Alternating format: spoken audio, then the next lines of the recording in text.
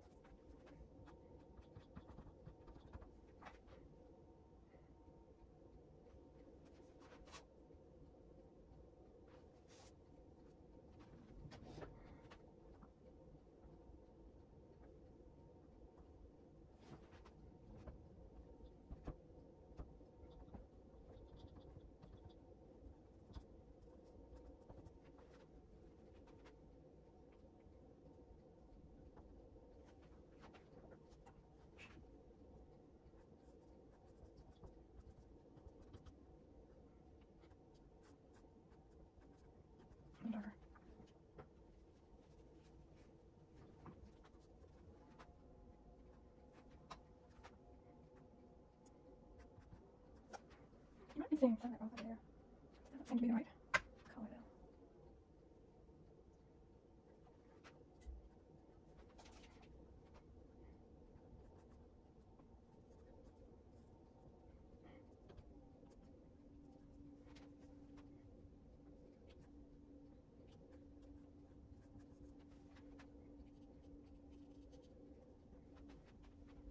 That's really what's happening there is that water. So,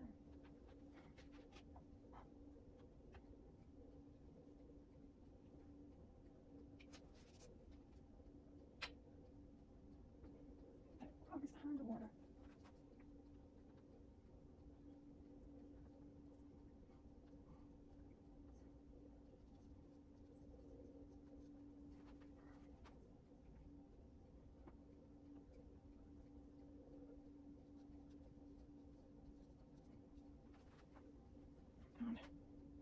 It's all behind this area.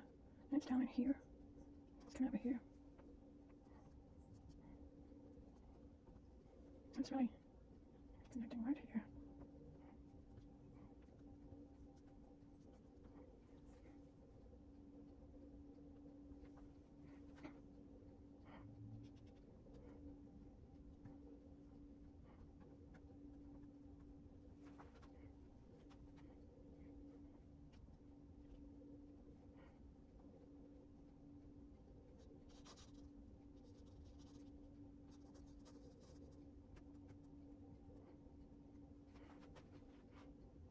I did that, now then.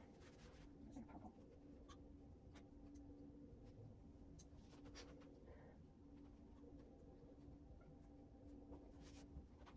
I think I can put some sparkles on top of it.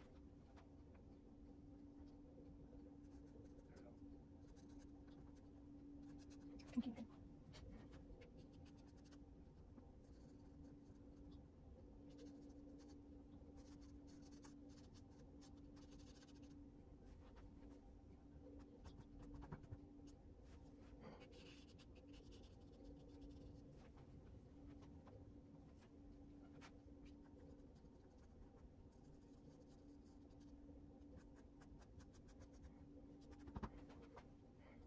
Down hitting that rock.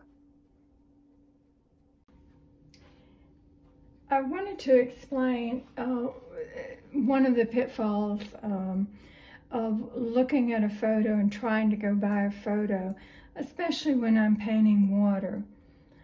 Um, I've had to backtrack in this one, in this area right in here, and just look at what I have, the structure of the rocks I already have, and how that those rocks might be affecting the water.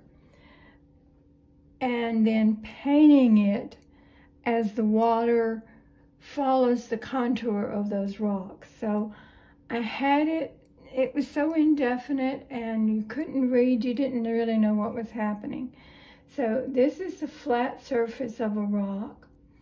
This is a rounded rock right here. The water has come up on it, splashed over and now it's really falling down with a lot of force. That's what I've decided, that's how I've decided to paint it, that all of this water is coming from here. A little bit of it from here, but not as much since that's flat, this is rounded. So I'm putting some dark areas in there to show where the water lets the rocks show through the water. And then now I can go, now that I have more of the structure of the rock, I will be able to flow that water down. It hits this hard surface right here of the rock, which is part of all of this, and continues to fall down. It gets down here and it rolls and splashes up like that. So this splash, this foam, is coming from here. It is not coming from the flat surface. This is also a flat surface. and all of this water is down below this surface. So that was my mistake in not uh, deciding how I wanted to treat the water before I got into painting, uh, painting the water and the splashes and the foam.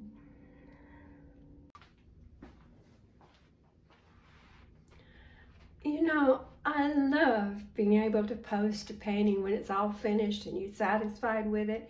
Everything looks just the way you want it. But a lot of things happen before I get to that stage. Corrections, adjustments, oh, I don't like that, let me change something. So here are a couple of things I'm, I'm almost finished with this painting, but here are a couple of things that I still need to change. First of all, this dark area right here is too dark for that part of the painting. And in looking at my reference photo over here, I see why that happened. It's actually part of another rock that extends over here. And uh, it, it doesn't look like that in the painting, in the cropping that I've chosen. The other thing is uh, what we uh, unconsciously let ourselves do while we're painting is create these even things right here.